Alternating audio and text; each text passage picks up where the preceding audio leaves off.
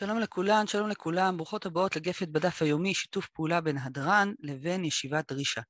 היום אנחנו בסוכות, ברוך השם, ואנחנו נלמד על ענייני יום טוב, זו שמחה גדולה, ואנחנו נעסוק בשאלה מדוע נאסרה צידה ביום טוב, ונראה מחלוקות רש"י ותוספות חשובות הנוגעות לענייני הגדרת אוכל נפש.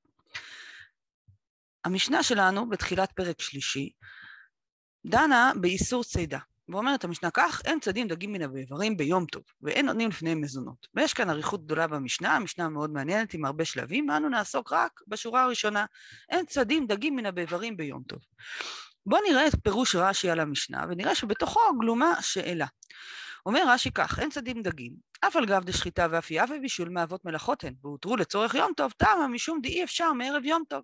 לשחיטה חייש למחמר, ביסרא פן יתחמם ויצריח, אבל צידה אפשר לצדו מבעוד יום ויניחנו במצודתו במים ולא ימות ולמחר יתלהו. מה בעצם רש"י אומר? בואו נסכם את דבריו. רש"י אומר שיש איסור צידה ביום טוב במשנה, כמו שראינו, ורש"י בעצם שואל, איך יכול להיות שלצוד ביום טוב אסור, אבל שאר מלאכות של אוכל נפש מותר? ועונה רש"י, ההיתר במלאכות לאוכל נפש הוא רק בדבר שאי אפשר לעשותו מערב יום טוב. ורש"י מתייחס באופן ספציפי לשחיטה, ואומר שאם אני אשחט בערב יום טוב, אז אני מסתכנת בזה שהבשר יתקלקל. כמובן שיש לנו שאלה מאוד גדולה על רש"י, מה זאת אומרת אי אפשר לעשותם? הרי כל שבת אנחנו עושים את הכל מראש. שוחטים, אופים ומבשלים, ורש"י באמת דיבר על שחיטה, מה לגבי אפייה ובישול?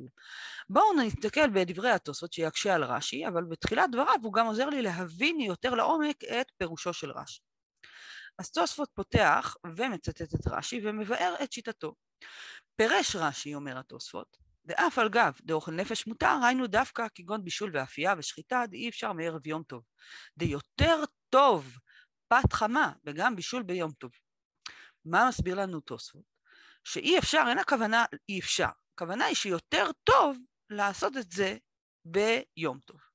אם כך, זו שיטת רש"י, היתר אוכל נפש הוא מוגבל, למה שאפשר, אבל אפשר הכוונה היא מה שיותר, מה שאין הבדל באיכות, אם עשיתי את זה בערב יום טוב או ביום טוב. אם יש הבדל באיכות זה נחשב אי אפשר ומותר לי לעשות את זה ביום טוב עצמו. תוספות כאן מתקדם ומקשה ואומר ולא נהירה, וגם בסוף מביא שיטה שהוא כן חושב שהיא נכונה ולי נראה. כדי להבין את סוף התוספות אנחנו נצטרך ללכת קודם כל ללמוד תוספות אחר, שתוספות עצמו מפנה אותנו אליו, תוספות אומר, לכי לדף ג' עמוד, ב, עמוד א' ותראי מה כתבתי שם. אז בואו נלך לדף ג' עמוד א'.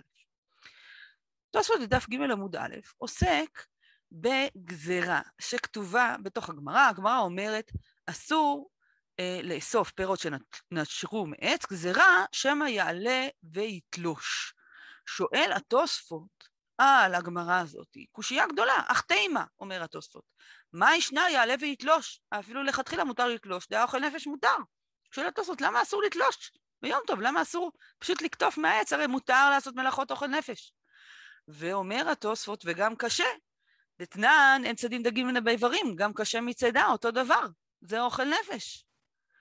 ואז מביא התוספות את שיטת רש"י ואומר, אל תגיד לי שההבדל הוא אם אני יכול לעשות את זה מערב יום טוב או לא. למה? כיוון שהחילוק הזה הוא לא חילוק שרש"י המציא.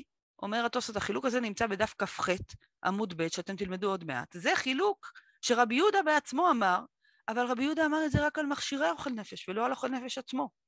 מה זה מכשירי אוכל נפש? שתגיעו לדף כ"ח תראו שרבי יהודה עוסק שם בלתקן שיפוד או לארגן סכין, אלה דברים שהם לא העשייה של האוכל ממש, אלא העשייה של כלי. מכשיר שתאפשר לי להגיע לאוכל נפש. לקטוף תפוח מעץ או להוציא דג מהמים, זה לא מכשיר, זה הדבר עצמו. ולכן טוסות מתנגד לשיטת רש"י. אז מה הפתרון שטוסות מציע? מה הסיבה שבגללה אסור לצוד ואסור לתלוש ביום טוב? הרי זו מלאכת אוכל נפש.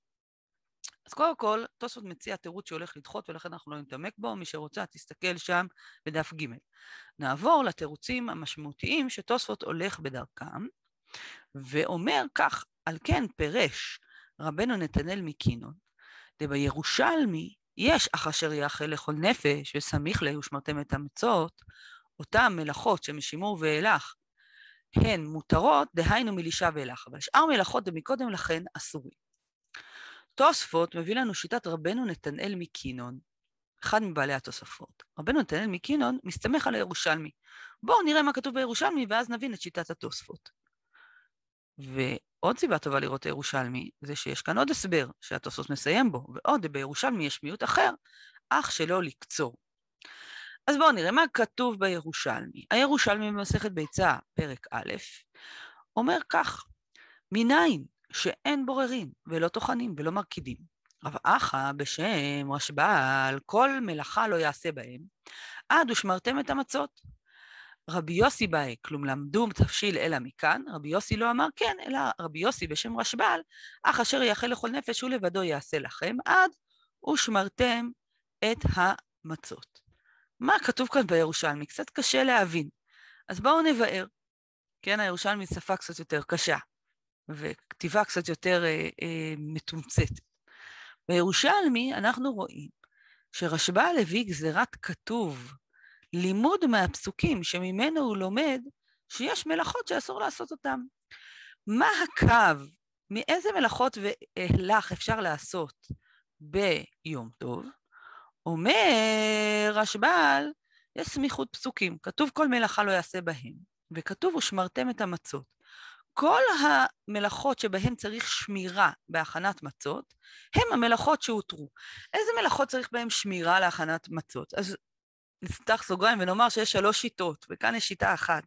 השיטה שמובאת כאן היא השיטה שאומרת שצריך להקפיד על שמירה של המצות מלישה ואילך. אז בעצם כתוב בירושלמי שרק מלישה ואילך מותר לעשות את המלאכות האלו בערב יום טוב, אבל המלאכות שקדמו להם, כלומר, תחינה, לפני כן, קצירה, תחינה, הרכדה, כל הדברים האלו, הם עדיין לפני הקו של אישה. אז זו גזירת כתוב.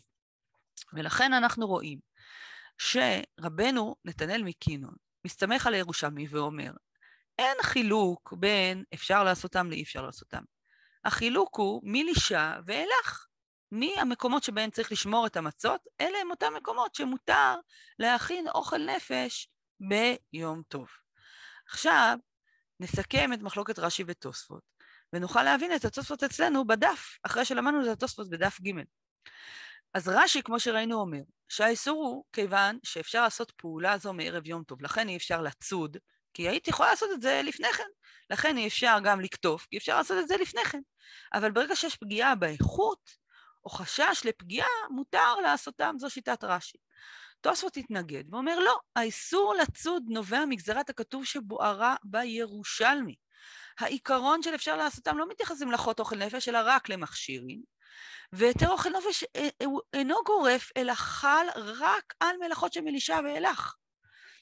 דבר נוסף שתוספות עוזר לנו להבין,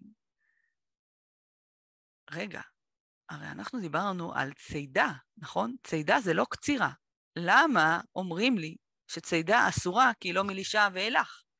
אומר התוספות אצלנו, שימי לב, יעל, ש... אמ, צידה של דגים זה דומה קצת לקצירה. אז ראינו כאן כמה נקודות מעניינות בתוספות. קודם כל שצידה זה סוג של קצירה, כן, זה היה בסוף, אבל בעיקר מחלוקת מאוד מאוד מאוד קוטבית בין רש"י לתוספות. האם ההיתר הוא מצומצם רק למלאכות ספציפיות, שזו שיטת התוספות ומקורו בגזרת הכתוב, או רש"י, שיש לנו בעצם היתר גורף מהכתוב, אבל יש סברה שהיא זו שמצמצמת את היתר אוכל נפש. אז מה שראינו עד עכשיו זו מחלוקת רש"י ותוספות, שזה פרט בתוך סוגיה מאוד מאוד ענפה של אוכל נפש, ואני מאחלת לכולכן, לכולם, שהולכים לבשל ולעשות הרבה אוכל נפש בשמחת תורה, ליהנות ולשמוח מהחג ומהאיכות המיוחדת של טעם המאכלים שיש לנו ביום טוב. שיהיה לכולנו חג שמח. להתראות.